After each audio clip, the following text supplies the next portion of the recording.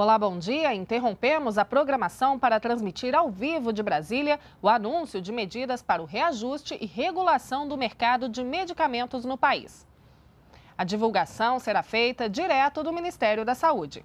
Vamos acompanhar.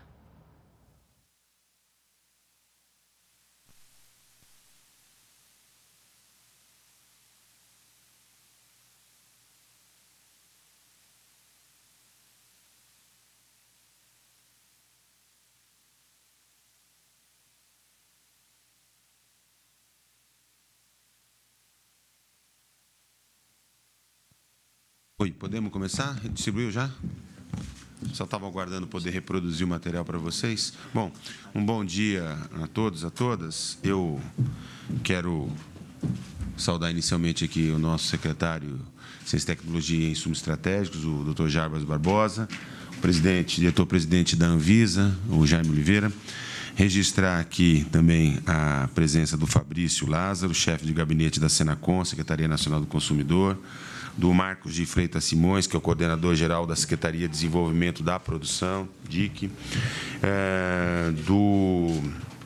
Deixa eu ver quem faltou aqui, o Leonardo Batista, que também é aqui da nossa secretaria, é, o nosso responsável pela CEMED. Né? É, eu queria é, dizer para vocês que essa nossa coletiva é, tem por objetivo é, apresentar as alterações na metodologia sobre o reajuste anual para preço de medicamentos, que foi construída ao longo desse último ano por todos os ministérios envolvidos pela responsabilidade de fazer a regulação de preços de medicamentos. Né? Então, houve um trabalho, o doutor Jarbas vai apresentar, mas um trabalho é, muito intenso das equipes dos ministérios e eu quero já, de antemão, fazer esse agradecimento a todos os ministros, a todas as equipes. É, mudanças, um segundo ponto são as mudanças no acompanhamento do mercado para melhorar a regulação do setor. Então, também tem esse objetivo. E vamos anunciar também medidas na área de medicamentos clones, que vão ter um, um efeito muito positivo eh, no processo de agilização eh, dos registros de medicamentos eh, no nosso país, através da Anvisa, né, que é um dos grandes desafios que a gente tem.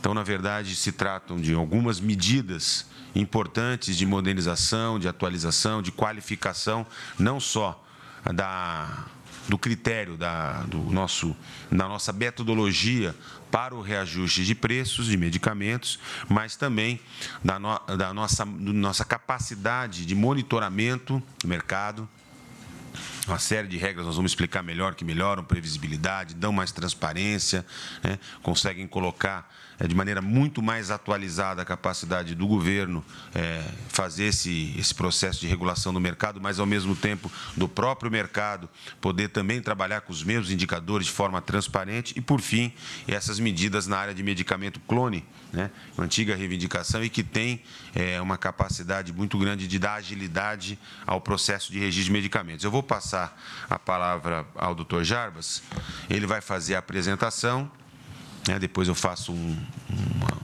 um arremate final e nós nos colocamos à disposição é, para poder esclarecer com o apoio do Jaime, com o apoio do Jarmas, com o apoio dos demais representantes dos nossos ministérios que estiveram envolvidos em todo esse processo, como eu disse, de quase um ano de trabalho muito, muito sério né? é, e que vai possibilitar esse, esse avanço importante nas questões que dizem respeito à política de regulação de medicamentos. Jarbas, por favor. Obrigado, é, bom dia.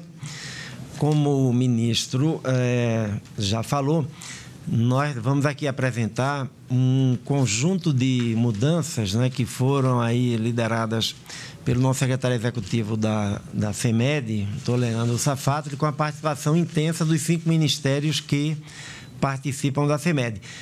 Tradicionalmente, todos os anos, a CEMED divulga só o índice do, do reajuste, né? o VPP. Esse ano, a gente está fazendo essa divulgação prévia. Hoje nós não vamos divulgar o índice, porque, diferente dos anos anteriores, a gente tem uma série de mudanças que foram realizadas na forma de cálculo. Então, essas mudanças é que a gente vai fazer aqui uma, uma síntese né, delas, tentando simplificar ao máximo aí a, a, a interpretação de, de cada uma. Pode, pode passar o o próximo. Bom, a, a, desde 2003, né, por intermédio da Lei 10.742, foi é, estabelecido no FMED essa metodologia de anúncio anual. Na verdade, no caso de medicamento, como é um, um mercado extremamente né, competitivo, a gente não está falando como de tarifa de energia elétrica em tarifa de água. Né? Na verdade, a gente está falando de valores máximos né, de possibilidade de reajuste. Né? É isso que a gente é, estabelece e quanto maior a competição dentro do setor, é, alguns aplicam menos, alguns não aplicam nada, o que não pode é aplicar mais do que isso que vai ser divulgado. Isso é importante porque, na verdade, a gente não anuncia todo ano, no dia 31 de março, que os, os medicamentos vão aumentar no dia seguinte aquele valor. Né? É, o modelo adotado, a fórmula está ali. Né? O, a variação que é feita anualmente, ela leva em conta agora né, o IPCA, né, que registra, vamos dizer assim, a, a inflação né, do ano que se passou entre o último anúncio e esse. Dessa, dessa, dessa inflação é retirado né, o aumento de produtividade, digamos assim, que é o fator X, que é calculado pelo Ministério da Fazenda e que leva em conta uma, vamos dizer assim, umas três páginas né, de planilha de Excel de fórmulas, são fórmulas complexas, porque elas tentam, é, com diversos indicadores, levar em conta qual foi a produtividade do setor. Então, isso abate, vamos dizer assim, isso reduz do que seria o aumento a ser colocado. E tem mais dois fatores que acrescentam, né? Um deles, o fator Y, ele mede o que a gente chama assim, o preço relativo entre setores, fundamentalmente a variação da energia elétrica e a variação do câmbio, né? Porque são dois dois insumos importantes para a indústria farmacêutica. Né? Grande parte da matéria-prima para a produção de medicamentos é importada. Né, e se toma a energia elétrica aí como, vamos dizer assim, um dos fatores a compor isso. E o terceiro, que é o fator Z, né, esse fator Z ele, ele mede é, os fatores de preços relativos ao setor farmacêutico. O que é que isso quer dizer? A gente vai apresentar aí na frente, mas basicamente a lógica é, é onde tem muita concorrência, medicamento que tem 30 é, marcas diferentes no país, você pode dar um teto maior, porque seguramente, como tem muita concorrência, a concorrência é quem regula. Já na outra ponta, um medicamento que é patenteado e tem uma única é o único fabricante no país. Se você não colocar ele, vamos dizer assim, com uma trava muito, é, muito próxima, né, do que muito baixa, ele tende a aumentar porque ele não tem concorrência com ninguém. Quer dizer, como só tem aquele medicamento, se o fabricante quisesse aumentar em 10% ou 20%, ele não teria o que regular. Já o que tem 30, quem aumentar 20% vai ficar fora do mercado porque os outros, como vão aumentar 1% e meio ou 0%, tomariam um pedaço dele do mercado. Então, essa, é, esse fator Z, ele mede, ele busca medir qual é o grau de concorrência ou de concentração que a gente tem dentro do mercado de medicamentos. Então, é uma fórmula complexa, estou tentando, vamos dizer assim, traduzir, né, até para que a gente possa ver. Esse, esse, é, essa, essa conta, né, ela produz três três índices né, que vão ser divulgados no dia 31 de março, né, que é o que a, a lei diz. É, esses índices eles são um índice para onde a gente tem é, menos concentração, para onde a gente tem concentração moderada e para onde a gente tem muita concentração, né, exatamente de maneira a fazer essa, essa compensação. Pode passar. Bom, a, CEMED, né, como o ministro é, falou, ela é uma Câmara né, de regulação que participam cinco ministérios, né, o Ministério da Saúde, o Ministério da Fazenda, o Ministério da Justiça, o Ministério de Desenvolvimento, Indústria e Comércio e a Casa Civil. Né? É importante ter todos esses ministérios porque olhamos, digamos assim, dimensões diferentes, né? A proteção do consumidor, a necessidade de desenvolvimento de um setor é, industrial que é importante, o Ministério da Saúde é, com a preocupação do acesso das pessoas a medicamento, ou seja, todas essas dimensões se refletem aí na, na CEMED. Em 2014, né, como eu falei, por isso que a gente, né, todo ano, isso era, aplicava a fórmula e divulgava. Durante o ano de 2014, foi feito todo um trabalho de revisão dessa metodologia e dessa fórmula. Né? Inclusive com a consulta pública, que foi pela primeira vez, além da, dos ministérios, foi possível, tanto as indústrias, é, instituições acadêmicas, pessoas, né, quem quisesse poderia dar sugestões para o aperfeiçoamento da fórmula. Então, isso foi, foi pela primeira vez, foi feito em 2014 e gerou talvez uma contribuição maior, um diálogo maior sobre a necessidade de aperfeiçoar a fórmula. A gente sabe que qualquer, qualquer mudança desse tipo ela tem que ser feita com muito critério e com muito embasamento, exatamente para que a gente não produza oscilações desnecessárias, né? nem para quem produz, nem para quem compra. Né? Então, por isso foi tomou-se todo o ano de 2014, fazendo todos os estudos aí é, econômicos, simulações, é, avaliando, inclusive, como em outros países que regulam medicamento isso é feito, é, que parâmetros eles utilizam, e tudo isso se reflete aí nesse, nesse resultado da, da nova fórmula. Pode passar. Bom, além dessa necessidade de atualizar a fórmula de cálculo, porque o mercado de medicamentos mudou. Né? Ao longo dos últimos 10 anos, 20 anos, é um, é um, um mercado extremamente é, ativo, né? que cresce continuamente, aí a, tanto a produção nacional como no setor de varejo. Então, é, essa mudança exigia que fizesse, fosse realizada essa atualização. Mas tivemos também, aí em 2012, no final de 2012, o TCU ele apontou que no cálculo do fator Z, aquele fator que mede grau de concentração né, ou grau de concorrência dentro do mercado, ele precisava ser revisto. A gente vai mostrar por quê. Porque a gente estava utilizando uma, uma maneira de medir, de medir se tinha mais concorrência ou menos concorrência, que era boa para 10 anos atrás, mas que agora já não estava refletindo a, a realidade do mercado. Então a gente vai detalhadamente mostrar isso. Pode passar. Bom, uh, nós tivemos 15 contribuições para a consulta pública, né? o número parece pequeno, mas quando a gente olha, a gente vê que algumas dessas contribuições, como eram de associações, é, representavam 150, por exemplo, indústrias farmacêuticas, desde pequenas e médias e, é, indústrias farmacêuticas é, nacionais, brasileiras, até grandes indústrias multinacionais que têm fábricas aqui no Brasil, ou seja, nós tivemos contribuições aí de, todo, de todos os, os setores. Né? Pode passar. Algumas dessas contribuições foram acolhidas, outras não foram acolhidas, né? porque se considerou que elas não tinham, vamos dizer assim, consistência ou poderiam trazer algum prejuízo para alguma das dimensões que a gente olha na CEMED, ou para a produção, ou para o consumidor, ou para o acesso das pessoas ao medicamento. As mudanças básicas, elas estão aí na, na nessa tabela né, que a gente está mostrando.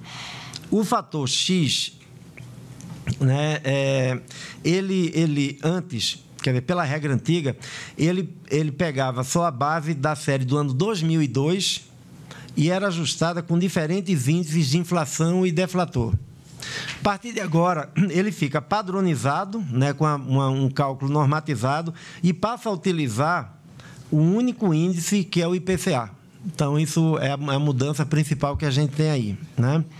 No fator Y, a gente tinha uma fórmula com muita complexidade e os parâmetros calculados a partir da matriz insumo-produto eram baseados de 95. Né? Esse fator Y, vamos relembrar, traduz basicamente energia elétrica, é, câmbio do dólar. Né? A gente aí faz, foi feita uma atualização, o Ministério da Fazenda, é, vamos dizer assim, participou fundamentalmente dentro da, da atualização desses fatores, porque tem um impacto econômico muito grande.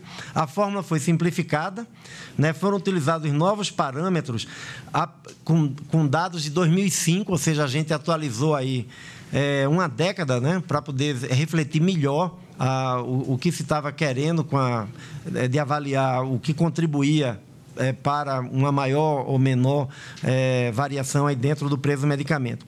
E no fator Z, aí tem, tem modificações muito importantes, né? No fator C, a gente utilizava é, essa família aí de, de classificação anatômica, digamos assim, porque é assim que ela que ela está lá no que era a TC3 dessa associação europeia, né, de pesquisa de, do mercado é, farmacêutico. Essa associação, ela é o centro colaborador da Organização Mundial de Saúde e é ela quem elabora essa família de classificação de grupos de medicamentos que são tomados em conta por todas as agências que regulam medicamento no mundo, ou por quem faz pesquisa sobre preço e medicamento ou quem faz pesquisa sobre impacto de preço de medicamento, ou seja, é ela quem estabelece parâmetros no mundo. Ela tinha uma família de vamos dizer assim, que, que classificava esses grupos de medicamentos, que era a TC3 que era utilizado. Se decidiu passar a utilizar, né, essa é a primeira mudança, a, a TC4. Qual é a grande diferença de uma para outra? A TC4 nós consideramos que ela reflete melhor o que é a realidade hoje do mercado de produção de medicamentos. Por exemplo, na TC3, todas as vacinas eram consideradas como um grupo só né? É, vacinas virais, por exemplo. Quando a gente sabe que vacina você tem vacina que é patenteada, tem uma só, e tem vacina que tem já hoje vários produtores no mercado. É, antivirais, na época, lá atrás, você praticamente não tinha medicamentos antivirais no mundo. Hoje em dia você tem, além dos é, antirretrovirais, medicamentos para vírus de influenza, medicamentos para vírus herpes, ou seja, vários tipos de antivirais diferentes. Então, essa nova família, ela permite verificar melhor qual é a, a efetivamente a, a, onde tem concorrência e onde não tem concorrência de uma maneira mais precisa do que a família ATC3.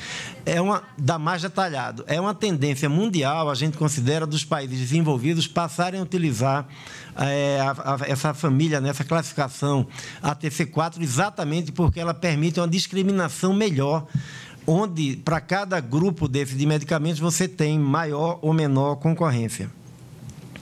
Antes, a gente utilizava a participação de genéricos nas classes terapêuticas para medição do poder de mercado de empresas individuais. É, há 10, 15, 20 anos atrás, né, quando o Brasil começou a a fazer uma, um, um, um, estímulo maior à produção de genérico, um dos motivos de estimular a produção de genérico era exatamente esse, era de estimular a concorrência. Então, fazia todo sentido utilizar a existência de um genérico ou não como indicador de concorrência. Ou seja, se eu tenho um antibiótico X que só tem um medicamento de referência, não tem concorrência nenhuma. Se eu tenho um antibiótico X, eu tenho dois, três genéricos dele, eu tenho maior concorrência. A lógica é muito simples, né? Mas a política de genérico tem sido tão vitoriosa que o genérico deixou de ser um bom indicador se há ou não é, concorrência, porque a gente passa a ter outros vamos dizer assim, outras variáveis né, que podem ser levadas em conta. Quem vai numa farmácia, por exemplo, às vezes encontra isso. Né? Onde tem muita concorrência e o genérico já está estabelecido, passa a ter concorrência, inclusive entre o medicamento de referência e o próprio genérico. E às vezes você consegue comprar o medicamento de referência por um preço igual do genérico, às vezes menor, exatamente porque agora você tem o genérico cumpriu o seu papel. Ele estabeleceu a concorrência e, é, e ele é fundamental que permaneça. Mas com isso ele perde, a gente perde o, o poder de dizer que só porque tem genérico já está, é, a concorrência está pronta. Então a gente passou a utilizar ao invés da, dessa presença do genérico ou não, e vocês vão ver como isso modifica a análise do mercado de medicamento, esse índice de Heffindal-Richman, o IHH, que é um índice também internacional, né, um parâmetro utilizado por, por todo mundo e que aplicado ao mercado brasileiro, nos pareceu que efetivamente discrimina muito melhor onde você tem muita concentração, média concentração ou baixa concentração, como a gente vai olhar é, num gráfico a seguir. É, a, a, outra mudança é que antes a gente utilizava uma base de dados para avaliar o mercado é, farmacêutico brasileiro, que é essa base de dados PBM e IMF. O, a base de dados PBMMF é uma, uma base de dados privada, feita por uma essa empresa que faz isso em vários países do mundo, né, tem é, efetivamente sua, sua validade, mas a gente já tem aqui no Brasil, diferente de outros países que não têm uma base de dados oficial e tem que usar mesmo a, o IMF, nós temos no Brasil a, a, o banco de dados da SAMED, né, que veio se consolidando aí ao longo dos anos, que é gerenciado aí na, na Anvisa, né, e que se constitui numa base pública, oficial, muito mais precisa do que a base da, do IMF. Maior, mais ampla. Tem, quando a gente olha o número de registros que tem um e o número que tem outro, a gente vê que o banco da Samet se consolidou muito e não tinha sentido a gente continuar a usar é, o banco é, do IMF. Pode passar. Bom, as os ganhos nas mudanças né, que a gente está fazendo, a gente vai mostrar rapidinho um por um. Primeiro, a previsibilidade. Né? É algo que é importante tanto para quem produz, para quem distribui, para quem vende e para quem compra. Né? Então, é, esse, essa nova metodologia, ela passa a ter maior previsibilidade, passa a ter mais racionalidade, né? nas escolhas que foram feitas, buscaram dar maior racionalidade na construção da fórmula, transparência, né? de todos saberem exatamente o que é que vai ser e como é calculado, né? e a segurança, né? porque também se vai ter maior previsibilidade aí para o futuro. Pode passar. Bom, previsibilidade, né? Esse foi um uma das contribuições muito frequentes na consulta pública e ela foi incorporada. Né? É de dar previsibilidade para todo mundo saber as datas para a publicação de cada um dos fatores. Então, o fator X ele é publicado é, em setembro do ano anterior ao ajuste. O fator Y ele é publicado 30 dias antes do ajuste né? O fator Z ele é publicado até 60 dias após o término do prazo para entrega do relatório de comercialização das empresas. É, cada empresa entrega esse relatório de comercialização e é dele que se constrói essa base de dados e se fazem os cálculos. Então. Não entendeu? Porque fala. Desculpa?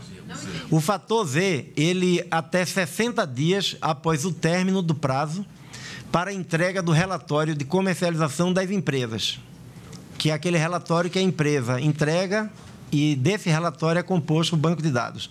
Eu acho que vocês vão receber uma cópia dessa da, da, da apresentação. Bom, o... ah, ficou, essa ficou escura. Na... Tá escura, mas tá ali, ó. É, e, bom, o ajuste continua a ser publicado dia 31 de março, né? Isso não mudou. Então, todos os dados aí, os dados aí que se aplicam relativos ao ajuste é aplicado a mesma data que é 31 de março. Segundo a transparência, né? É, a metodologia de cálculo na resolução que vai ser publicada, provavelmente na segunda-feira, né, do secretário executivo da CEMED, né, o Leandro Safato, que está aqui. Vai ser publicado também, além da resolução, um anexo contando toda a metodologia né, de maneira que fique é, fácil para quem quiser, estudiosos do, do, do, setor, economistas que trabalham com isso, pessoas, empresas, associação de consumidores, ou seja, todo mundo saiba exatamente como é calculado. Pode passar. Volta.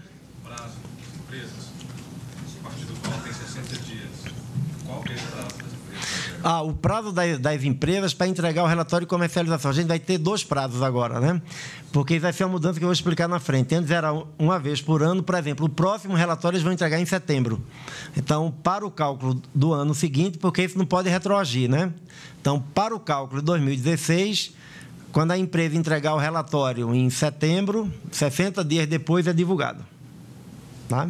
Então, essa metodologia não serve agora? Serve. Essa metodologia já é aplicada agora. Alguns aspectos dela é que só podem ser aplicados no próximo ano. Por exemplo, a semestralidade do banco de dados. A gente, o banco de dados já está fechado. A gente vai utilizar o banco de dados anual que já foi entregue. Agora, a partir de agora, para o próximo ano, é dado duas vezes. Não, não altera o valor. O que altera aí vai ser o acompanhamento do mercado. Né? Pode passar. A segurança, né, todas as fontes de dados para o cálculo dos fatores passam a ser oficiais e públicas. Né? E o Ministério, o próprio ministro, tem conversado com os demais ministros que têm gerenciamento sobre alguns desses bancos de dados para que todos eles sejam dados consistentes e disponíveis de maneira, é, vamos dizer assim, acessível. Né? Então, tanto o Banco Central, o IBGE, o IPEA, né, a RAIS e CAGED do Ministério do Trabalho, quer dizer, todos os bancos de dados que são colocados aí têm um. A, a, a CEMED né, fez um, um contato e está acompanhando né, o compromisso de que todos esses bancos estejam efetivamente aí disponibilizados. Bom, a racionalidade, né, a metodologia que a gente passa a utilizar, ela é uma metodologia mais compatível com o que internacionalmente é feito, né? aquele caso do índice IHH, para medir aí a, a concentração é, do mercado ou não. Né? O, o, mercado vai ser considerado como um todo, né? e não, não apenas o varejista, quer dizer, essas mudanças também permitem a gente ver produção, distribuição é, e varejo. Né? Então, você passa a acompanhar melhor as tendências do mercado. É, também, é, ao invés de ter só é, a, o, o, banco de dados no seu conjunto, a gente vai ter ele separado, a gente vai mostrar isso, é, o que é compra pública, o que é compra privada, o que é o preço na farmácia, lá na ponta, o que é o preço que é vendido numa licitação do Sistema Único de Saúde. Então, isso vai é, também permitir um, um, monitoramento melhor do que é, de como está o mercado de preço. E uma distribuição mais equânime aí do mercado por nível de ajuste, como a gente vai ver quando aplica essa, esse indicador. Pode passar. A lógica, né, como a gente falou, são, vão, no dia 31 de março vão ser divulgados três índices, né? São três índices. Esses índices, eles são relacionados com o grau de concorrência ou grau de concentração, né? Só relembrando o exemplo que eu dei. No nível 1, por exemplo, são os mercados não concentrados, ou seja, onde tem muita concorrência. Onde tem muita concorrência, se aplica, vamos dizer assim, o índice cheio que é calculado. Nos outros, a gente aplica como se fossem redutores. Né? Então, por que é que nesse pode se aplicar o índice cheio? De novo, porque você tem 10, 8, 12 é, produtos que concorrem entre si. Né? Então, não tem problema deixar o índice cheio, porque a própria concorrência limita né, a aplicação do índice cheio. Depois, a gente tem no nível 2 mercados moderadamente concentrados. Aí tem uma fórmula complicada que o IHH produz, que aí você é, caracteriza se aquele medicamento está no nível 1, 2 ou 3. Mas quem cai nesse nível 2, mercado moderadamente, ele vai receber um teto né, de reajuste menor do que o do nível 1. E no nível 3, que são mercados altamente concentrados, eles recebem o menor é, valor de reajuste. Né? Aí do lado tem alguns exemplos. Por exemplo, o omeprazol, né, que é conhecidíssimo e tem várias marcas, né? De marca de referência, tem genérico, tem similar, tem de todo tipo. É, ou a moxilina, que é um antibiótico muito utilizado também, que tem talvez algumas dezenas de, de apresentação. Então, tem uma concorrência tão grande entre eles que não tem problema de aplicar o índice cheio. Já na ponta, né? A Ritalina, que é para tratamento de déficit de atenção, né? E a Estelara, que é para tratar psoríase, que não tem concorrência praticamente, é aplicado esses redutores, eles vão ter um menor índice é, de reajuste exatamente para evitar, vamos dizer assim, um, um, qualquer prejuízo aí ao consumidor. Né? Pode passar. Aqui a gente, para exemplificar né, é, como a, a mudança, ela, ela assim, reflete melhor o que é o mercado e ao refletir melhor o que é o mercado, ela produz um impacto melhor para o consumidor. Na, nessas colunas aí em é, rosa, talvez, dizem que a paleta de cores do, dos homens é mais sim, sim, é, simples, né? Não sei. Vamos dizer que é um entre um rosa e um amarelo na, na minha, no meu olho aqui. É, é como a gente fazia pela, pela é, usando só a presença de genérico ou não, né, digamos assim. Então a gente vê o seguinte, ó, utilizando a, aquela metodologia anterior, a gente tinha que como se 41,53% do mercado brasileiro fosse não concentrado. Ou seja, esses iam receber o maior valor de reajuste. Né? Agora, com a nova metodologia, a gente encontra que, na verdade, são só 21,57%. Então, o maior valor, ao invés de se aplicar a 41% do mercado, só vai ser aplicado para 21,57%. Então, demonstrando como essa mudança ela reflete melhor e, e, e, nisso ela beneficia o consumidor, digamos assim. Né? No nível de ajuste 2, que ele moderadamente, pela metodologia anterior, era um segmento quase inexistente no Brasil, era só 1,65%, né? o que efetivamente também não reflete o que é a, o mercado. Vai para 26,7%. Né? Já no altamente concentrado, a gente teve uma quase nenhuma mudança, né? uma mudança pequena, né? reduz de 56 para 55. Então, agora a gente reflete melhor e, com isso, o maior dos três índices a ser divulgado em 31 de março, ele será aplicado a um percentual bem menor de classes de medicamento. Vamos passar, né? já está chegando no final. Bom, uma outra mudança importante, como eu falei, é o, é o banco de dados do o banco de dados SAMED, né? Aí aqui vem, por que, que, é importante? Porque, como eu já falei, ele é maior, ele é um banco público, né? ele, ele passa a ser é, base para essa avaliação. Ele foi, inclusive, uma recomendação também da CGU, né, em 2013, né, que é o aprimoramento desse banco de dados, a Anvisa vem fazendo várias ações para melhorar. Aí tem uma mudança importante. Essa, é, por exemplo, só vale pela própria natureza dela a partir de agora, né? Porque, a partir de agora, em vez de entregar a informação uma vez por ano, aquela informação do faturamento e da quantidade vendida, vai é, informar duas vezes. Qual é a vantagem disso? Como é um mercado muito dinâmico, né?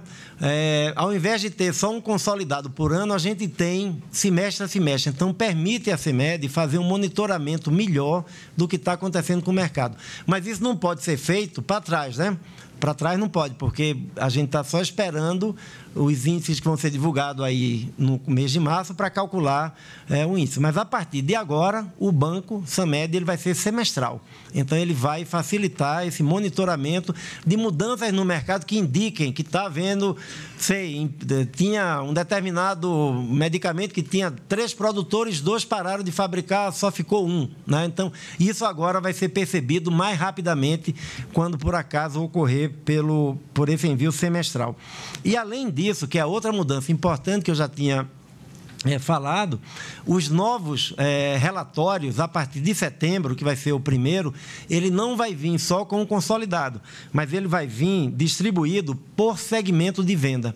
Porque o preço de um amoxicilina né, que uma pessoa compra na farmácia é diferente de quando um grande distribuidor participa de uma licitação da Secretaria de Saúde do município. Né?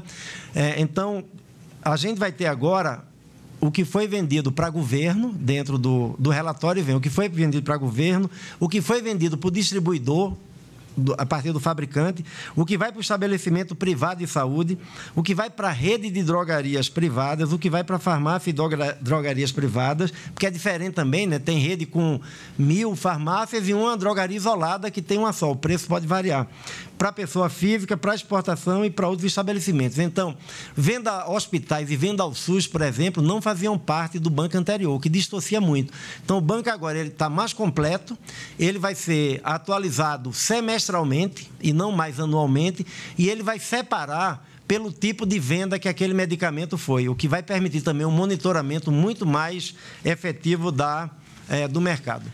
Bom, pode passar agora a última mudança, né? É em relação à precificação de medicamento clone. A Anvisa, né, até o nosso presidente né, Jaime pode dar detalhe aí depois. A Anvisa tem feito uma série de esforços no sentido de simplificar né, os processos de registro, mantendo a garantia da qualidade, mas fazendo com que o, o, o trabalho né, dos técnicos da Anvisa seja exatamente muito focado pela avaliação de risco efetivo e não, vamos dizer assim, só para o cumprimento da, de trabalhos que não acrescentam né, segurança. Então, é, a Anvisa fez aí a RDC 31 no ano passado, sobre medicamentos clones. Né? O medicamento clone, como o nome diz, é um medicamento idêntico a algum outro. Né? Idêntico a algum outro. Não. O genérico pode ser clone e o similar pode ser clone, né, Jaime?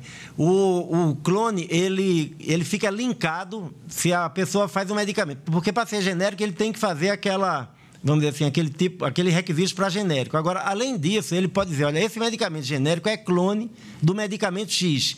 O que quer dizer isso?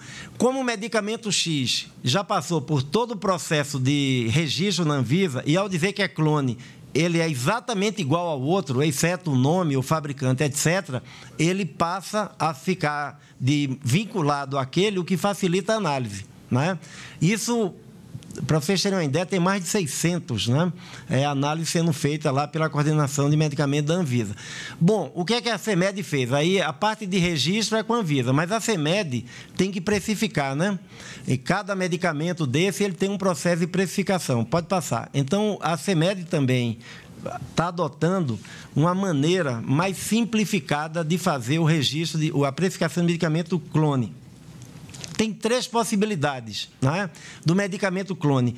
A primeira é quando ele é clone de um medicamento que já tem o preço aprovado pela FEMED. Né? Já existe o medicamento X e um fabricante diz: Olha, eu estou lançando esse genérico do medicamento X que é clone dele. Né? E ele entra na, vamos dizer assim, nessa, nesse pedido aí de, de, de precificação. Agora, isso vai ficar feito simplificado porque ele passa ele informa, né, a Anvisa analisa a informação, faz análise simplificada e mantém o mesmo preço que já está aprovado. Né? Mantém o mesmo preço que já está aprovado. Quando é uma nova apresentação, aí tem que analisar. Né? É uma nova apresentação, não tem, não tem jeito. Quando é um processo de transferência de tecnologia, seja uma PPD, né, é uma PDP que o Ministério tem estimulado bastante, né? seja outras formas de transferência de tecnologia, já tem o medicamento né, da matriz, digamos assim, já tem um preço o preço do medicamento clone brasileiro vai ser mantido exatamente o mesmo. Né? Então, várias PDPs novas têm um medicamento que é fabricado pelo laboratório, que está, inclusive, transferindo a tecnologia. Esse, esse medicamento já tem registro da Anvisa, já tem um preço estabelecido, 10, 10 reais, sei lá, cada caixa.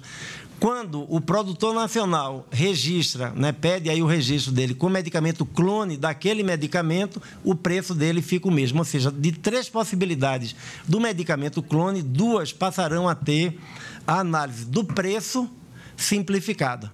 Né? Análise do preço, aqui a gente não está falando de registro, análise do preço que compõe lá o registro. Com isso, pode passar, é o, o último slide. A gente tem. É, um ganho de tempo em todas as etapas aí do ciclo de vida do medicamento. Né? O pós-registro, que é o mais sobrecarregado com esse tipo de demanda, é, se, se considera aí que tem 60% da gerência geral de medicamentos da Anvisa estão aí focadas nesse tipo de análise. Com essa medida aí da FEMED, né, a gente aí contribui, assim, com esse esforço que a Anvisa está fazendo de simplificação e se estima que até 25% aí da demanda de pós-registro poderia ser reduzida, porque de cada, né, vamos dizer assim, dois terços das possibilidades de precificação dos clones passarão a ter esse processo de precificação simplificado. Né? A análise técnica, etc., é outra coisa. Isso tudo segue a regra é, da Anvisa que já, é, que já é feita. Bom, é, Claro. O que é o medicamento clone? Porque eu chego na farmácia, eu peço genérico, eu peço similar, eu nunca tinha ouvido falar do medicamento clone. São medicamentos que estão na, são produzidos na mesma linha de produção, são o mesmo medicamento. O que muda é a apresentação, como uma estratégia de mercado que são feitas pelas indústrias. Mas se eu chegar na farmácia, eu peço medicamento, não. vão me dar? Não. Não, não, não aparece com o nome de clone. A categoria do clone tem só o efeito da simplificação do registro, ou seja, a, o produtor produz o medicamento, pode ser genérico, similar, ele produz. Ele é, é igual, tudo igual, mas ele muda o nome, muda a caixa, ele faz alguma coisa, ele diz, olha, esse medicamento é um clone do outro. Aí o o processo de análise do registro dele é simplificado na Anvisa, que já me pode dizer, mas para efeito da farmácia, você tem o similar, tem o genérico e tem o medicamento de referência. Mas o, o genérico não tem o mesmo, a mesma fórmula? Você pode ter um genérico clone. Todo, todo genérico é clone, é. todo clone é Não, não, não, não. esclarecer não. uma coisa para vocês. É, clone não é uma nova categoria de Não é. medicamentos, tá? Clo- o, o clone, você trata medicamento como clone, é por causa de uma estratégia para você poder analisar os processos com mais celeridade. Então, por exemplo, tem determinadas empresas, principalmente empresas que têm o mesmo grupo econômico, que é uma novidade também de inclusão nessas novas fórmulas, etc., que elas registram vários medicamentos ao mesmo tempo na Anvisa. Então, elas registram vários genéricos, os mesmos, só um fabricado por empresas diferentes do mesmo grupo econômico, vários similares, os mesmos, com marca diferente, cada um fabricado pela mesma empresa. Todos esses medicamentos são fabricados na mesma linha de produção, embalados da mesma forma, ou seja, só muda a empresa que fabrica e muda eventualmente a marca quando é similar. Tá? Ele podem ser genéricos, eles podem ser similares, não importa. O fato é que esses processos, por serem os mesmos produtos, eles são analisados todos em conjunto com, com muito mais celeridade na Anvisa. Então, é uma estratégia para você analisar processos que são iguais em conjunto. Não é criação de nova categoria de medicamento. Não é isso. O que estava faltando nessa história? Estava faltando, porque o processo, novos registros, você precisa de preço antes do produto ir para o mercado apesar da Anvisa ter instituído essa forma de análise de processo, que é uma forma que dá, que dá ganho em eficiência, que se analisa tudo junto, faltava definir na CEMED como que esses medicamentos vão receber o preço deles, porque qualquer medicamento que você registra na Anvisa precisa receber um preço. É isso que está sendo divulgado hoje. Produto que é igual ao produto de referência, portanto, um clone é o mesmo produto, é o mesmo preço do medicamento de referência. Se houve alguma alteração é, é, no produto, faz o recálculo do preço por conta de, uh, da fórmula que foi apresentada. E mais uma coisa que é importante. Essa estratégia de analisar processo igual tudo junto, que é uma coisa óbvia, ela já era feita pela Anvisa. Mas o que, que acontecia? Uh, muitas empresas entravam com o pedido de análise do medicamento clone é, ganhavam esse, né, essa análise conjunta, administrativa, rápida, etc. E depois, no futuro, eles começavam a fazer modificações no medicamento clone, que também tinham que ser aprovadas pela Anvisa. Então, trocava esse do produto, trocava forma de administração, etc, etc. Com isso, você gerava uma fila, uma demanda muito grande no pós-registro porque o medicamento nascia como clone, era analisado conjuntamente, como eu falei para vocês, e depois começava a mudar. Com essa, com essa estratégia adotada no passado pela Anvisa de, de normatização disso que já era feito na prática, se você entra com um pedido de análise de um produto como clone na Anvisa, você nunca mais pode se descasar do medicamento de referência. É uma opção sua. Uhum. Mesma linha de produção, mesma Estratégia forma de administração, é o mesmo produto, só tá? É o mesmo produto. Não tem nada a ver com você pode ter clones genéricos, clones similares, não tem nada a ver com genérico, mas é uma forma de você ganhar em, em termos de que era muito pouco. agilidade de análise de processo administrativo, tá? É isso. Deixa eu só, isso. é, exato. Deixa eu só, eu... Nós já vamos para as dúvidas, só um minutinho. É. É, como claro como é que é. Desculpa. Qual é, qual é a dúvida do, sobre o fator Z?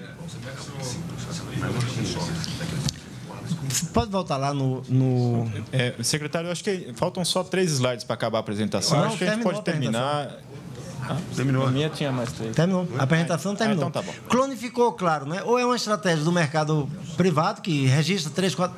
Ou é uma transferência de tecnologia. Por exemplo, numa PDP, o 4 em 1 de tuberculose.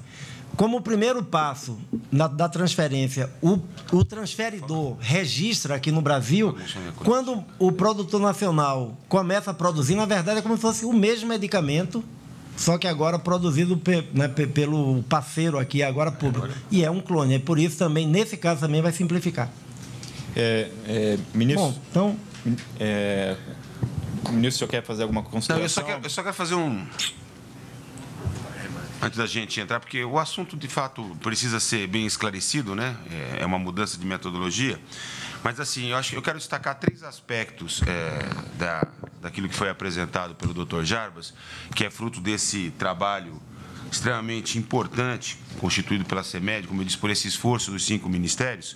O primeiro deles é que as medidas é, que estão sendo tomadas, elas vão resultar, sem dúvida nenhuma, num desembolso menor é, na compra de medicamentos se se adotasse a metodologia até então vigente.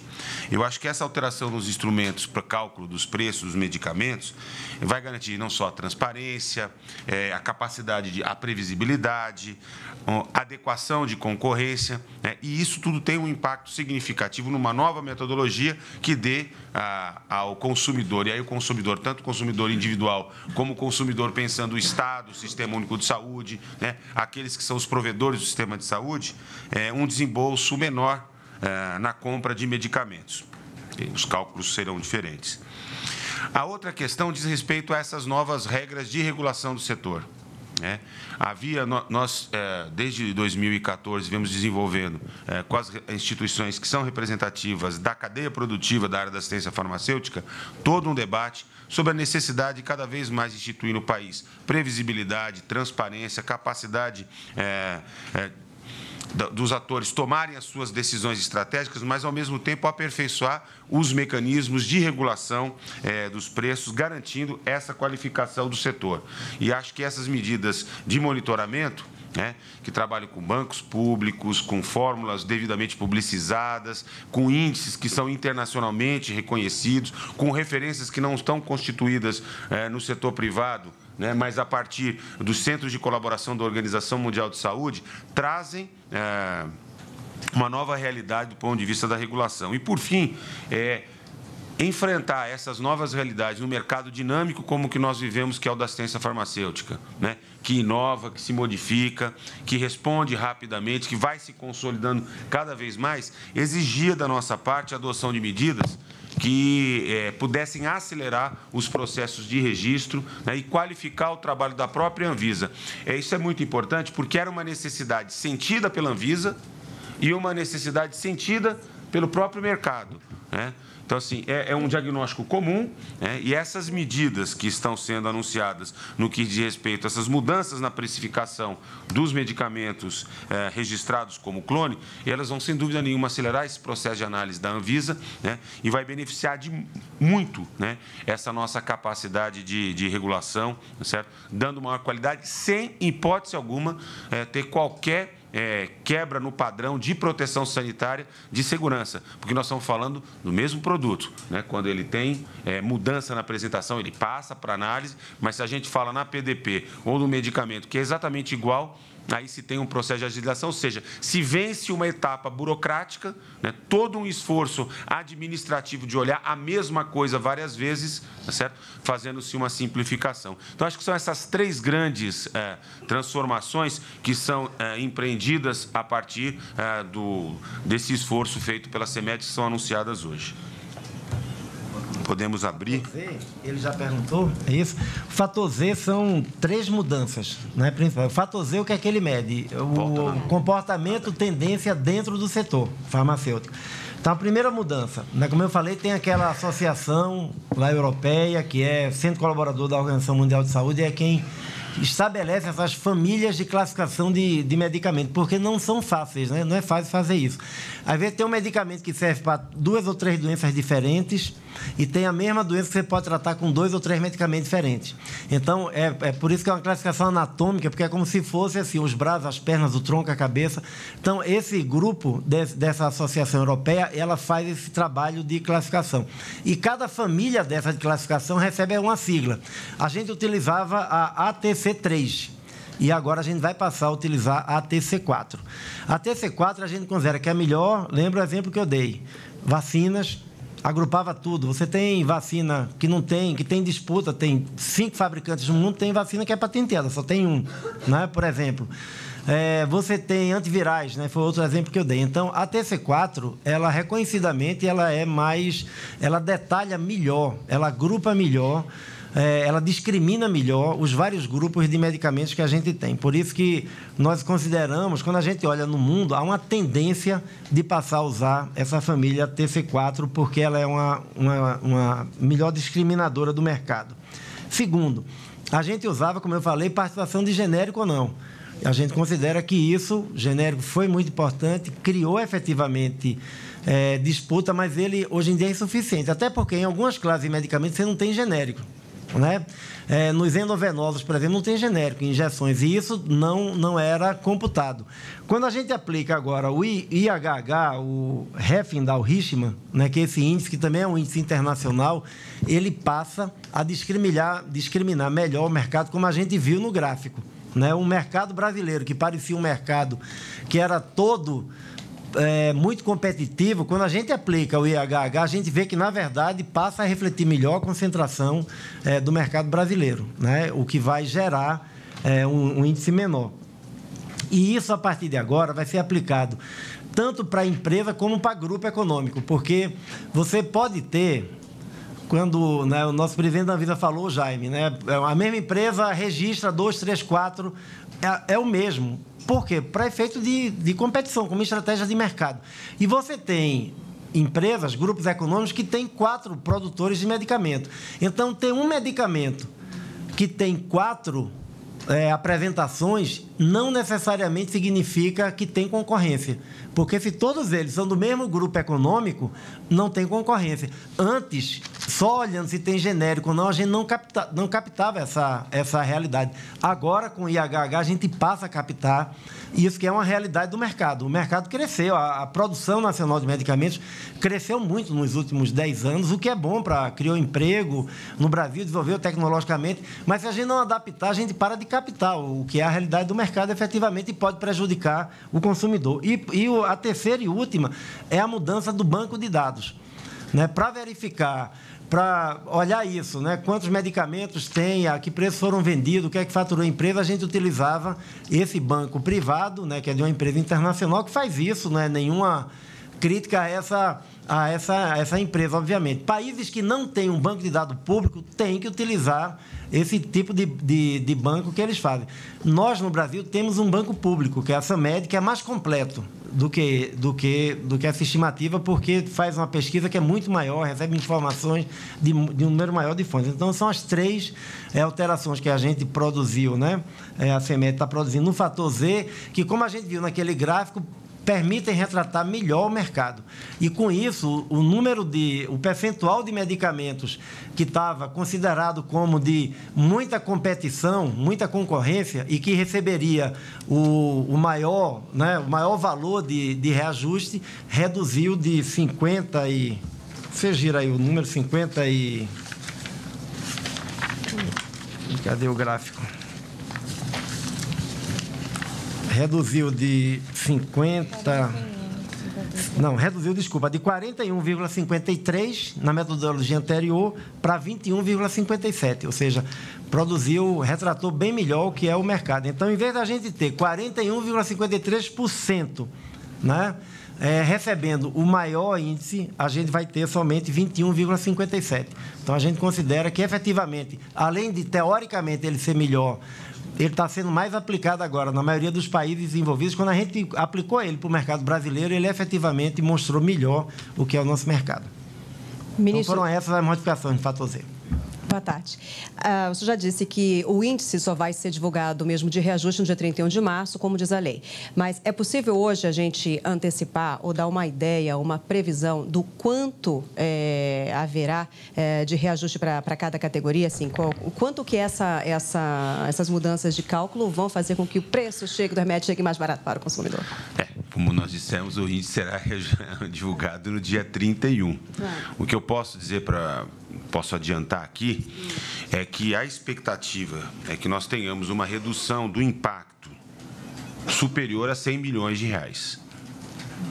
Não vou dizer o índice, mas posso, nós podemos trabalhar a partir de algumas estimativas que nós esperamos um impacto é, bastante expressivo de redução é, em relação a, aos gastos que nós teríamos o, caso o índice fosse calculado gasto, pela metodologia anterior. O gasto, então, com medica, medicação será 100 milhões de reais a menos, é isso que o senhor está querendo dizer? Se se aplicasse a metodologia sim, sim, anterior, tá certo? Ela, ela produz um impacto da ordem superior a 100 milhões. Do governo? Impacto para quem? De... Mercado geral. Não ficou claro. É. Se você te... ela perguntou qual é o índice. O índice eu não vou, nós só vamos divulgar após a divulgação dos índices oficiais que permitem fechar o cálculo e dar com precisão. certo? Mas, claro que nós também estamos trabalhando com uma série de estimativas, de análise. E nós temos uma expectativa de que a redução do impacto seja superior a 100 milhões de reais, ou seja, se se aplicasse a metodologia anterior, tá certo? É, aplicando a atual, a que, a que passa a valer, nós teremos uma, um impacto de redução do gasto da ordem de 100 milhões. Isso. Para o consumidor? Para o mercado, para o mercado de, de medicamentos no país. Tá, o senhor saberia dizer também, ou poderia dizer também... Você vai explorar para dizer o índice que eu não vou dizer, tá bom? o senhor poderia, então, dizer para a gente também, aqui o que se fala aqui, no, na, no nível 3, a maior quantidade de medicamentos vai receber ali, o, vai ter o reajuste menor, né? Quantos medicamentos a gente está falando? De quantos medicamentos que seriam e que agora vão ter um, um impacto menor de preço? Você sabe dizer o número de medicamentos? Eu não sei te dizer agora o número de pessoas. A gente pode levantar essa informação? Quanto? 7.500 apresentações por volta disso? Tá, mas a gente pode depois ter uma informação mais precisa para você, tá bom? Ministro, só, só para deixar claro. É, é assim, é, a gente está dizendo que evita-se reajustes na ordem de 100 milhões de reais com a aplicação do novo índice. Que o impacto para as famílias, para os governos, para os prestadores de serviços que compram medicamento não é que vai ficar, vai, reduzir, é que deixa de gastar Isso. 100 milhões a... de reais com a nova forma. É, exato.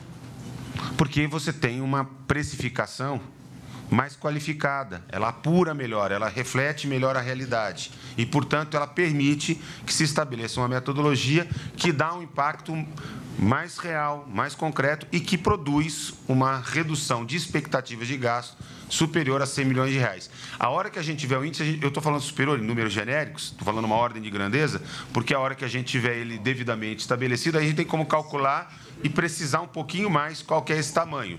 Tá certo? Mas é, é, o que a gente consegue do ponto de vista de avaliação econômica agora é trazer esse número, que é um número significativo. Agora, o que é mais importante, porque para nós, é, não é apenas o, o, anúncio que vai ser feito então de qual é o índice do reajuste, mas, por exemplo, o ganho que se tem no monitoramento, ele é decisivo, é um mercado muito dinâmico, muito qualificado né? e muito complexo.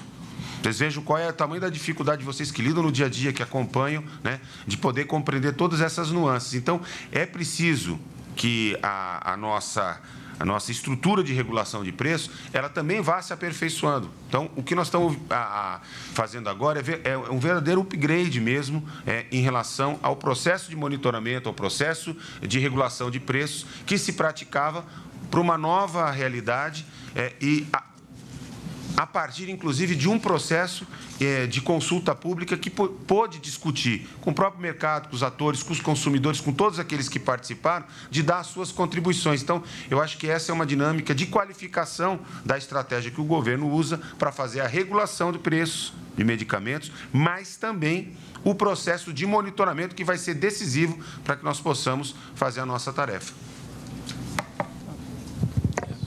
Bom, boa tarde. É, eu gostaria de tirar uma dúvida a expectativa do Ministério é que as medidas né, elas resultem em um desempenho é, e desembolso menor para o consumidor.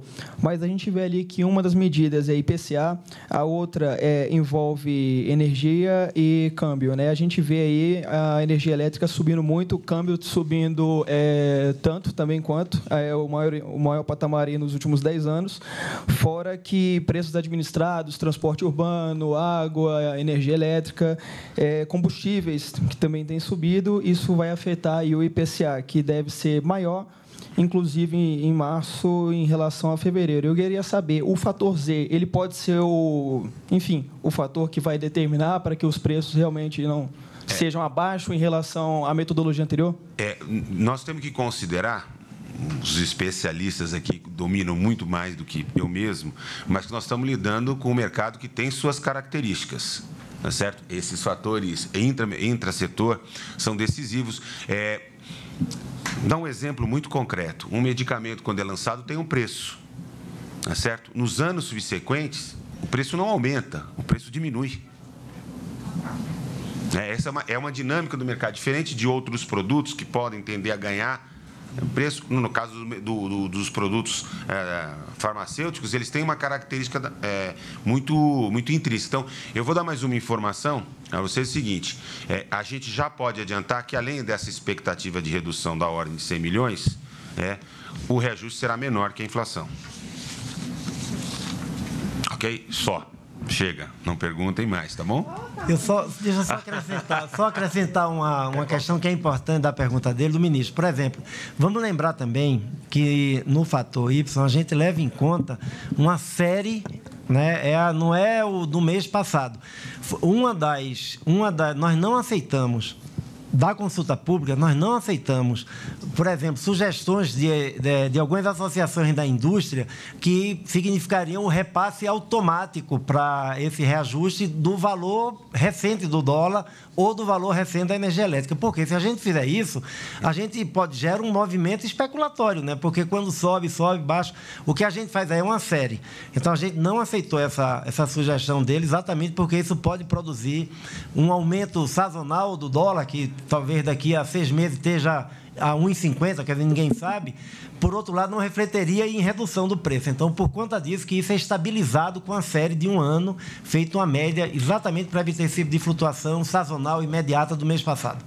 Depois, quem quiser um aprofundamento mais a fundo do, dos, dos fatores, o nosso secretário executivo da CEMED, o Leandro, ele está à disposição, porque de fato aí precisa aprofundar, quer dizer, cada uma dessas discussões. Mas a cada uma delas tem todo um trabalho, tem toda uma lógica, tem toda uma fundação, tem toda uma, uma consistência uh, de análise que para justificar e a gente fica à disposição, porque como é de fato uma forma extremamente complexa, aí a gente pode é, fazer esgotar o aprofundamento com cada um e o Leandro fica à disposição, tá bom, dos jornalistas. Secretário, só para complementar ali o que o senhor vinha falando das séries, então, uh, esses, uh, esse reajuste dos medicamentos de agora vai levar em conta a média da série do ano passado ainda. Então, o impacto deste ano só no próximo ano no índice, né? Exatamente. Tá. É uma para o fator Y é a série da média anual de janeiro a dezembro da tarifa de energia e da taxa de câmbio. Hum. Então, pega de janeiro a dezembro, para o ano vai pegar de janeiro a dezembro. Uhum. Agora eu tenho um, um, uma pergunta de um outro assunto, ministro, já que o senhor não vai gravar depois. É, o caso dos casos de malária lá no Rio de Janeiro, são 14 já. Queria saber de que forma o Ministério está acompanhando, se isso preocupa, que recado tem a se dar sobre esse assunto. Claro, claro. É... Sempre preocupa, mas são casos isolados. Né? Todos os casos são de pessoas é, que adentraram a, a mata, né, a região serrana, foram a cachoeiras, né, estão todos os casos relacionados, acompanhados pelo Ministério da Saúde através da Fiocruz, né, que é o nosso centro de referência uh, e que tem tido capacidade de fazer não só o diagnóstico, mas o acompanhamento e toda a orientação. Né? Nós temos uma, mudanças importantes do ponto de vista climático acontecendo no país, né? e temos também a, a utilização cada vez maior das pessoas de desse espaço, desse lazer, né, de, da introdução é, em espaços que precisam ser feitos sempre com muita precaução. Tá certo? A floresta, a mata, é o espaço, é um habitat que coloca riscos. A gente teve agora recentemente os casos de febre amarela silvestre. Né? São exemplo disso, quer dizer, as pessoas entram à mata, sabem que, por exemplo, precisam ir vacinadas, precisam se proteger. No caso específico, as regiões serranas, as regiões de floresta né, é, da Mata Atlântica, elas. É, elas é, possibilitam a transmissão da doença de forma silvestre, de forma uh, isolada. Certo? São casos isolados, dizer, objetivamente não há risco para que de, de, disseminação da malária para a população do Rio de Janeiro, para a população de Petrópolis, de Teresópolis, de Nova Friburgo, quer dizer, não, não é isso que está colocado. E aí é muito importante que as pessoas que, é, ao longo desse período, é, tiveram a oportunidade de entrar na mata, que foram às cachoeiras, é, a, a, partir de sinais e sintomas, procurem o serviço de saúde e aquelas que, continuarem fazendo por lazer ou por qualquer outro motivo né, a ocupação desses espaços, façam de forma protegida. Né, porque nós estamos lidando com uma situação é, de, de controle muito difícil, porque você está dentro de situação é, ambiental bastante exposta, mas que pode é, ser precedida de algumas medidas de prevenção, como o uso do repelente, a proteção com roupas, etc., que podem trazer. É, é, segurança para mesmo aqueles que precisam ir à mata. No caso aqui, por exemplo, de, de Goiás, sem dúvida nenhuma, a melhor prevenção é a vacinação contra a febre amarela para aqueles, porque aí, no caso específico da febre amarela, nós temos a vacina. No caso da malária, não. Você quer acrescentar, acrescentar alguma coisa, Jarbas? Jarbas, que é nosso super especialista em malária aqui. Né? Não, só, só isso que o ministro falou. Só para dizer, a gente, às vezes, não se dá conta, mas ocorrem 200, 300 casos no Brasil por ano de malária na região extra-amazônica. Porque em algumas áreas, de, por exemplo, no Paraná, tem uma área que é na pé da fronteira com o Paraguai. Então, o pessoal que vai pescar lá, é uma área, de vez em quando aparece tem ano que aparece, ano que não aparece, muito vinculado a esses fatores que o ministro falou, que aí não controla. Cresce Serra a do Mar, lá em São Paulo? Serra do Mar, lá em São Paulo, região. na Serra, na Mata Atlântica do Rio de Janeiro. Quer dizer, esses são locais onde pode realmente acontecer. E por isso que esses cuidados que o ministro falou. Mas não, não tem nenhum risco de transmissão aumentada, de virar epidemia no Rio de Janeiro, nem. Região Sudeste, Nordeste, Centro-Oeste tem condições hoje em dia muito improváveis, porque não tem dispersão do vetor transmissor da malária. Voltando à questão dos medicamentos, a minha dúvida é o seguinte: é, vocês apresentaram até alguns exemplos de, do, do, do, reajuste né, para alguns tipos de medicamentos. Mas minha dúvida é se há um padrão semelhante para algumas classes de medicamentos, como analgésico, antibiótico. Tem, se tem essa diferença. E outra coisa é se desses 100 milhões, se o governo tem uma estimativa de quanto que deve ser a redução para o SUS, de fato.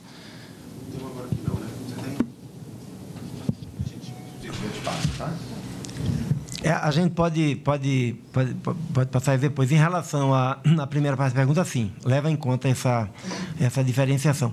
Porque mesmo numa. Quando a gente está falando assim, de antibiótico, a gente está falando de, de, às vezes, de coisas diferentes, né? Porque mesmo dentro de antibiótico, você tem antibióticos que você hoje em dia tem uma concorrência muito grande, antibióticos têm menos concorrência, né?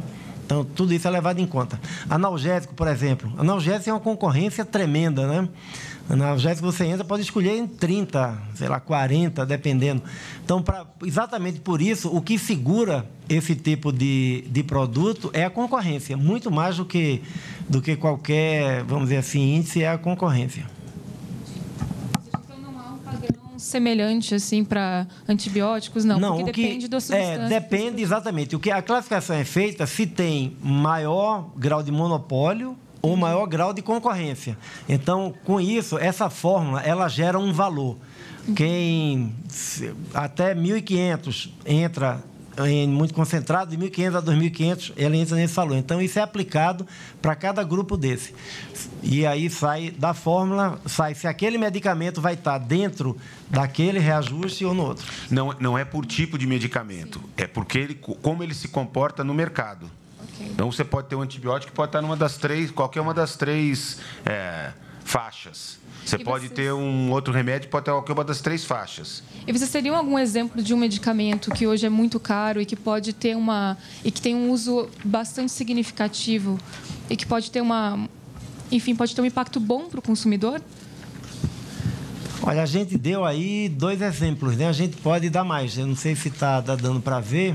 A gente trouxe dois, dois exemplos de medicamentos. Esses medicamentos que são, vamos dizer assim, muito monopolizados ou são medicamentos patentados ainda, que só tem um produtor, né? Geralmente eles têm uma indicação mais precisa, né? Para quadros muito graves, né?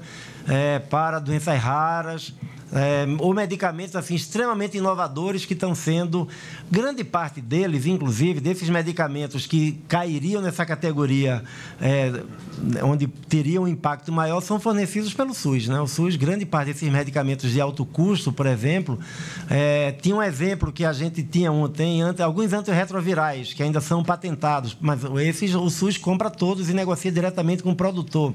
Alguns medicamentos oncológicos que são patentados, o SUS compra e, divulga. Então, a gente, quando a gente olha assim, para a maioria das doenças comuns, digamos assim, né? É, hipertensão, diabetes, entre as doenças crônicas, doenças cardiovasculares, ou no caso das infecciosas, as, as infecções respiratórias, etc., para isso você tem um nível já de competição muito grande. Né? Chegou aqui a informação aqui da, dos universitários. Né, ajuda dos universitários. No nível 1, nós temos 9.134 apresentações Vou repetir, 9134. Que não são números de medicamentos, porque pode ter medicamentos com apresentações diferentes, tá? Apresentações. Nível 2, 7394. E o nível 3, 8918. Quanto? 8518. Que letra, hein? 8518 no nível 3. Letra de médico é que é ruim. Não, é, depois fala mal de médico. Economista. Economista. Tudo bem? Só para dar um. Aí fica o um número de apresentações por níveis. Tudo bem, gente? Tem mais alguma? Um... Cápsula, Caixinha de 10, caixinha de 30. É. Ministro, Oi. por favor, eu gostaria de saber, o senhor falou que a redução, a expectativa é de uma redução de 100 milhões aí no gasto no mercado. Qual é o Total. tamanho desse mercado é, atualmente? Qual é o gasto aí? Porque... Responde, eu vou passar para o presidente da Anvisa, que tem mais clareza e rápido na ponta da língua. Indústria farmacêutica, fabricação de medicamentos, em torno de 50 bi bilhões no Brasil atualmente. Se juntar varejo, que aí farmácias, drogarias, etc., chega lá mais 50 bilhões aproximadamente. Então, tá. Lembrando sempre aquilo que o Dr. Jarbas disse no começo da, da coletiva. Tá? Esse índice de reajuste que vai ser divulgado dia 31, ele não é o que vai ser praticado.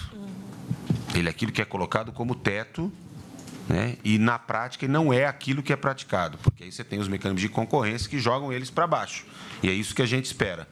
Certo? Isso é, é importante, senão a divulgação pode dizer assim: olha, vai divulgar e vai ser de X o índice. Não, é de. O preço máximo do reajuste é de até X para cada um desses três níveis. Isso é uma diferença importante de quando se dá um índice que é automaticamente repassado e recompõe o valor praticado no mercado.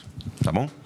Gente, acho que é isso. Muito obrigado. Então, fica aqui à disposição o nosso secretário executivo para aqueles especialistas na área que quiserem aprofundar o cálculo. Ele faz as contas com vocês, só não dá o índice, tá bom?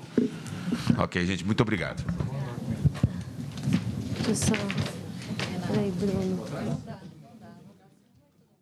Você acompanhou ao vivo do Ministério da Saúde em Brasília o anúncio da nova fórmula adotada para o reajuste do preço dos medicamentos no país. Segundo o Ministério, o método foi modernizado para acompanhar as mudanças no mercado e estimular a concorrência no setor. Uma das medidas adotadas, por exemplo, é utilizar o IPCA, Índice de Preços ao Consumidor, como parâmetro de reajuste dos medicamentos. A variação da energia elétrica e do câmbio também será levada em consideração no novo cálculo do valor máximo dos remédios. Ainda segundo o Ministério, os novos índices de reajustes vão ser divulgados no dia 31 de março. O ministro Arthur Quioro garantiu que esse reajuste ficará abaixo da inflação. Nós voltamos a qualquer momento com mais informações. Continue com a gente, NBR, a TV do Governo Federal.